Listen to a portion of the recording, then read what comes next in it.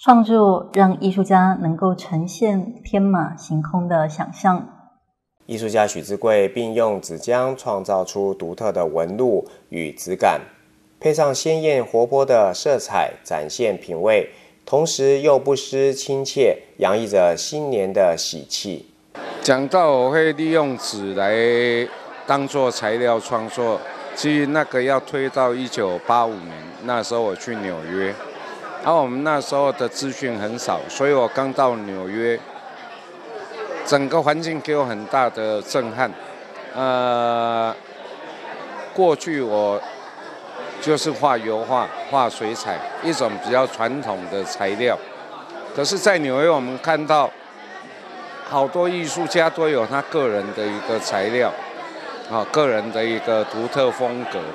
所以那时候我就开始思考。我要用什么来做啊？因为那一九八五那个纽约就已经有所谓的热色分类，所以他们很多的纸张。那我先是用纸张，从刚开始撕碎，然后去粘贴做肌理，是慢慢的才把纸变成纸浆，然后再做。